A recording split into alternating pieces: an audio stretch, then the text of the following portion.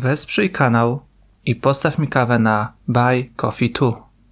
Witajcie w wojskowych newsach. Dziś zaczynamy od informacji o dodatkowych F-35 dla Korei Południowej. Ostatnio rozmawialiśmy, jakie nowe myśliwce dla Polski są najlepsze, a kolejka do F-35 ponownie się wydłużyła. Departament Stanu USA wyraził zgodę na zakup przez Koreę Południową kolejnych F-35 w wersji A, czyli tej najbardziej powszechnej, to znaczy konwencjonalnego startu i lądowania. Maksymalny wolumen zakupu może wynieść 25 myśliwców.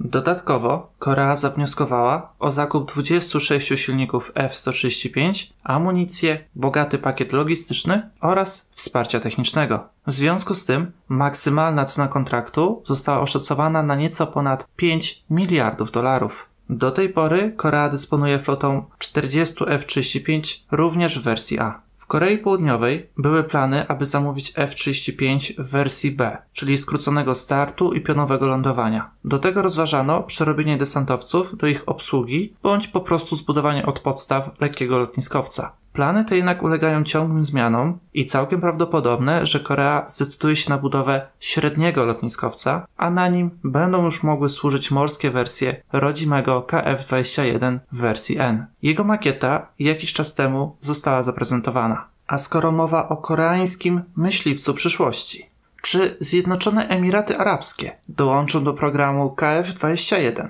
Południowo-koreańskie media poinformowały, że ten arabski kraj ma być zainteresowany włączeniem się do programu nowego koreańskiego myśliwca. Emiraty mogą wykupić udziały Indonezji, która ma spore problemy z regularnymi wpłatami na program. A że umowa między Koreą i Indonezją nie przewiduje kar umownych ani innych sposobów na odzyskanie środków, to wydaje się, że ta opcja jest całkiem prawdopodobna. Jednakże Indonezja cały czas podtrzymuje, że chce kontynuować swój udział w programie i w przyszłości zakupi około 50 samolotów. Zatem można rozważyć także inną opcję, że ZEA zostanie trzecią stroną w programie. Zjednoczone Emiraty Arabskie miały ochotę na F-35, ale zakupowi bardzo mocno sprzeciwił się Izrael, który chce zachować przewagę technologiczną nad krajami Bliskiego Wschodu. Zatem wybór szejków padł na Koreę Południową. Ostatnio Arabowie mają chęci na uczestniczenie w zaawansowanych programach lotniczych. Kilka tygodni temu informowałem Was, że Arabia Saudyjska chce dołączyć do programu myśliwca szóstej generacji, tworzonego przez Wielką Brytanię, Włochy oraz Japonię. Jednak nie wiadomo, czy coś z tego wyjdzie, ponieważ Japończycy są bardzo przeciwni dołączeniem Saudów do tego programu. Szejkowie nie mają co prawda technologii, ale za to potężne pieniądze, które mogą być bardzo solidną kartą w negocjacjach. Co do KF21, to w obecnej wersji jest on zaliczany do generacji 4,5. Czasem spotykam w waszych komentarzach sugestie, że to samolot piątej generacji. Otóż nie. Przypomina on co prawda w wyglądzie F-22, ale ma ograniczone zdolności stealth, no i brakuje mu komory uzbrojenia. Jednak wersja rozwojowa, czyli Block 2, ma już posiadać dużo lepsze parametry stealth, a także potencjalnie komorę uzbrojenia. Ich produkcja mogłaby ruszyć na przełomie 2028 i 2029 roku. I właśnie od tego momentu do programu mogłaby wejść Polska. Przynajmniej według zapowiedzi szefa PGZ Sebastiana Chwałka. Aczkolwiek co będzie za 5 lat, to myślę, że nikt z nas nie wie i trudno wyrokować, na ile to jest prawdopodobne. Rozpoczęła się budowa okrętów podwodnych dla Norwegii i Niemiec. Chodzi o okręty typu 212CD, które są rozwinięciem znanych i cenionych okrętów 212A. Norwegia i Niemcy wspólnie zamówili okręty w niemieckiej stoczni TKMS w 2021 roku za kwotę około 5,5 miliarda euro. Wspólne zamówienie pozwoliło zmniejszyć cenę jednostkową, a w późniejszym etapie także koszty logistyczne. Udział w programie był także oferowany Polsce. Dlaczego nie skorzystaliśmy z zaproszenia? Jedne źródła podają, że nie byliśmy zainteresowani, a inne, że po prostu strony się nie dogadały co do warunków kontraktu. W ramach tego zamówienia Norwegia ma otrzymać cztery jednostki, a Niemcy dwie. Przy czym pierwsza, norweska, ma zostać przekazana w 2029 roku i zastąpić wysłużone okręty typu ULA. Czym wyróżnia się nowy okręt? Oczywiście znajdziemy tam najnowszą aparaturę i będzie on wyraźnie większy od swojego starszego brata. Dłuższy o prawie 17 metrów, szerszy o ponad 3, a jego wyporność będzie wynosić 2,5 tysiąca ton wobec obecnych 1830. To, co jeszcze wyróżnia ten okręt, to przeprojektowanie kształtu kadłuba, tak, aby w jak największym stopniu zmniejszyć jego sygnaturę radarową. Napęd okrętu będzie konwencjonalny, a załogę ma stanowić około 30 oficerów. stocznia TKMS zgłosiła swój akces do programu ORKA, więc całkiem możliwe, że zaproponują nam właśnie okręt typu 212 CD. Swoją drogą patrzcie, sama budowa okrętu trwa około 6 lat. Dlatego w przypadku tak skomplikowanych jednostek jak okręty podwodne, tak ważna jest ciągłość, aby nie stracić zdolności bojowych. To, że obie ostatnie ekipy, czyli PO i PiS, doprowadziły do sytuacji, że w zasadzie zostaliśmy bez okrętów podwodnych, od 2021 ORP Orzeł jest w naprawie, uważam naprawdę za skandal i wielką stratę dla polskiej marynarki wojennej. Oby Orka została rozstrzygnięta jak najszybciej, a do czasu wprowadzenia nowych okrętów udało się wyleasingować inny używany okręt.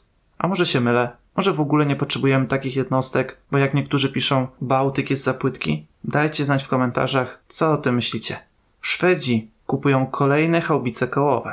Podczas targów Defense and Security Equipment International 2023 Szwedzi zamówili aż 48 samobieżnych haubic kołowych Archer. Umowa jest warta około 500 milionów dolarów. Do tej pory Szwedzi używają 26 haubic tego typu. To, co może zastanawiać, to nośnik, czyli podwozie, bo obecne haubice są usadowione na podwoziu Volvo A30D6x6. A tymczasem zdecydowano się na niemieckie rozwiązanie, a mianowicie RMMV HX2 8x8. Dlaczego zmieniono podwozie? Nie wiadomo. Pierwsze egzemplarze mają być dostarczone w 2025 roku. Szwedzkie Archery, oprócz Szwedów, zamówili także Brytyjczycy w liczbie 14 egzemplarzy. Tych haubic używa także Ukraina, która otrzymała je w formie pomocy wojskowej właśnie ze strony Szwecji. Miała ich dostać 12. Ile zostało? Nie wiadomo. Archer to szwedzka kołowa armatochaubica kalibru 155 mm.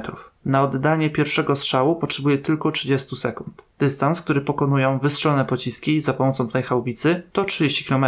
Jeśli użyjemy pocisków z gazogeneratorem, to zwiększa się on do 40 km, a z amunicją Excalibur do 60.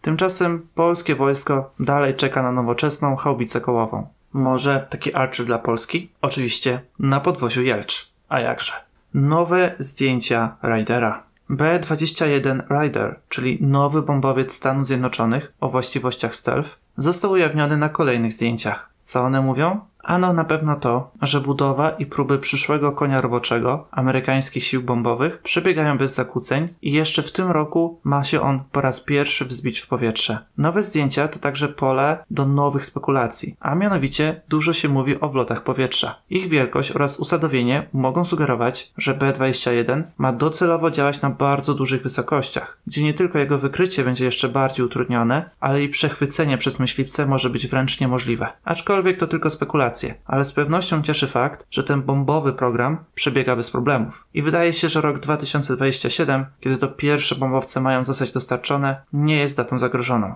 Ryder w pierwszej kolejności będzie zastępował bombowce B-1B Lancer, a następnie B-2 Spirit. Cena nowych bombowców ma nie przekroczyć około 650 milionów dolarów przy wolumenie zakupów na poziomie 200 egzemplarzy. Choć mówi się, że taka Australia może być zainteresowana ich kupnem. Czy Amerykanie się na to zgodzą? Na razie nie ma informacji, czy B-21 będzie obwarowane takim samym zakazem sprzedaży, jak na przykład F-22 Raptor. Co do ceny, to dla przykładu B2, z którego jak widzicie B21 czerpie bardzo dużo, kosztuje 2 miliardy dolarów. Także różnica jest bardzo duża, aczkolwiek amerykańskich duchów jest tylko 20 i w momencie ich powstania były konstrukcją awangardową, co siłą rzeczy winduje cenę w górę. Generał Raymond Andrzejczak mówi jak jest. W dniach od 5 do 7 września w Karpaczu miało miejsce 32 forum ekonomiczne. Okej, okay, dość dawno, ale jak przeczytałem wypowiedzi pana generała, to wiedziałem, że muszę wam to przekazać. Mianowicie nasz szef sztabu generalnego Wojska Polskiego, moim skromnym zdaniem, powiedział wprost jak jest i nie bawił się w zawijasy dyplomatyczne. Zarzucił on Rosji, że jej zachowanie na arenie międzynarodowej przypomina zachowanie zwykłych gangsterów, a NATO niestety nie staje na wysokości zadania. Dlaczego? Według pana generała, parafrazując, przypominamy naiwnego faceta, który siada do stołu z przestępcami, którzy mają broń, a my co najwyżej potrafimy powiedzieć, że swoją własną zostawiliśmy w domu i nie używamy słowa na B, bo się go boimy. Tu pan generał nawiązuje do gruźb Rosji o użyciu broni atomowej i słabości NATO, które jakby zapomniało, że również jest sojuszem atomowym i taką broń posiada i powinna być zdolna do jej użycia. Niestety w retoryce tego nie słychać. Tu generał Andrzejczak przypomina o lotach patrolowych amerykańskich bombowców B-52 w latach 70. i 80. ubiegłego wieku, kiedy to 30% z nich posiadało na swoim pokładzie ładunki jądrowe, które były gotowe do użycia, a teraz wielu decydentów boi się użyć słowa B-61. Jeśli ktoś nie wie, to lotnicze bomby z ładunkami jądrowymi bądź termojądrowymi, które w nieznanej liczbie są również na terenie Europy. Natomiast co do kwestii rozbudowy naszej armii, to w przypadku wciągnięcia Białorusi do Rosji, co de facto już ma miejsce, oraz upadku Ukrainy, to nawet 300-tysięczna armia oraz wszystkie zakupy, które planujemy, mogą nie wystarczyć, aby obronić wschodnią część NATO. Słowa naszego generała odbiły się szerokim echem i były cytowane m.in. przez brytyjski Guardian. Podobne tezy stawia także w rozmowach generał Skrzypczak, który uważa, że takie na przykład zaczepki w powietrzu, które robi Rosja dość regularnie wobec myśliwców NATO, również powinny spotkać się ze stanowczą odpowiedzią, a tymczasem nic nie robimy. Nie wiem, co wy myślicie, ale ja się z panem generałem w pełni zgadzam. Czasem zdarzają się komentarze, pewnie część to boty, ale nie wszystkie, że trzeba się z Rosją szybko dogadać, bo mają atom i mogą go użyć i wtedy koniec zabawy. No to co z tego? Znaczy, mamy się zgodzić żyć pod butem, czy to na kolanach, w wiecznej niewoli, dlatego że Rosjanie mają atom? Lęk to woda na młyn takich nacji jak Rosja czy Chiny. Z mojej perspektywy nie można kazować strachu i braku zdecydowania. Inaczej to właśnie będzie napędzać spiralę przemocy, bo wiadomo, typowy Seba z osiedla, że tak powiem kolokwialnie, kiedy wie, że nikt mu się nie przeciwstawi, to może robić co chce. A Rosja to jest taki typowy dres. I myślę, że tak do tego trzeba podejść. Ale oczywiście możecie mieć inne zdanie. Jeśli chcecie się nim podzielić, to zapraszam do komentarzy. I to tyle, ile dziś dla Was przygotowałem. Dzięki za poświęcony czas. Pamiętajcie o subskrybowaniu kanału. No i miłej środy. Do następnego materiału. Hej!